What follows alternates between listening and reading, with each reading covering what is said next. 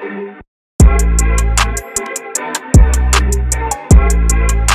is up, y'all? This is another video. I posted a vlog yesterday, and this video, as you guys can see by the title, is what is going to be in my carry-on cruise bag. Let's go. Show you guys.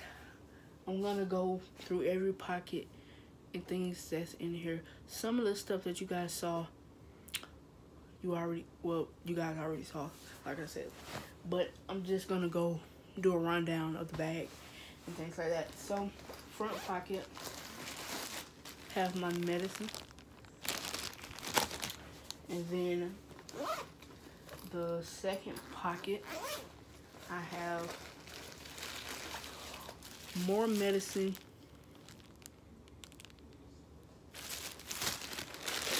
Extra needles and alcohol wipes.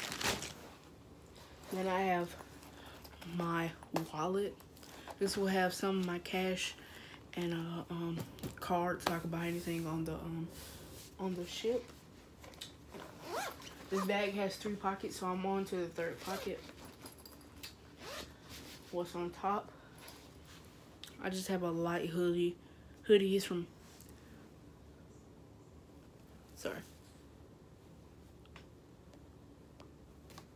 From Old Then I have this bag. I have two bags in here.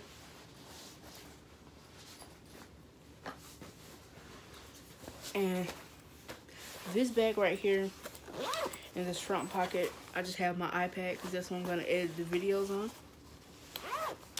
And then on the inside of this is just, don't know if you guys can see that, headphones, charger cables, GoPro mounts, two um, wall chargers, a hat clip. So, basic things like that.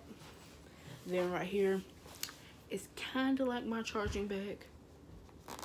I have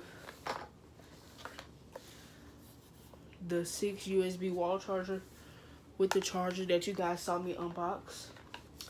The power bank you guys saw me unbox. Then I have the GoPro Hero dual charger is the other batteries in the GoPro. Then I have my suction cup mount if I want to get time lapses in the um in the car on the way there and on the boat. Then I have the floaty handle and the GoPro. Just in case I want to vlog when I get on the ship and I do not want to use my phone. So I can use this. I can use this to vlog if I don't want to um vlog hold around I can put my phone mount up here too but let me show you guys this is gonna be like a inception because I'm about to record with the GoPro. Let me move this.